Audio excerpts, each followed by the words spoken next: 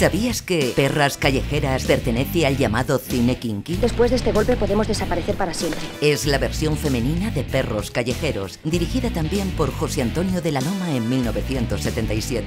Esto es un atraco. Robos, persecuciones de coches, drogas y mucho sexo. Abusaron de mí, me drogaron. El escenario de todas aquellas películas del cine kinky de finales de los años 70 y principios de los 80 era prácticamente el mismo que se vivía en los suburbios de las grandes ciudades de nuestro país. Necesito algo dinero. El Torete, el Pirri, el Vaquilla, el Jaro, todos ellos fallecidos, pasaron de ser delincuentes a estrellas de cine por unos días. Y es que, para conseguir aún más realismo, este tipo de cine prefirió tirar de sus auténticos protagonistas. Un golpe por noche y basta.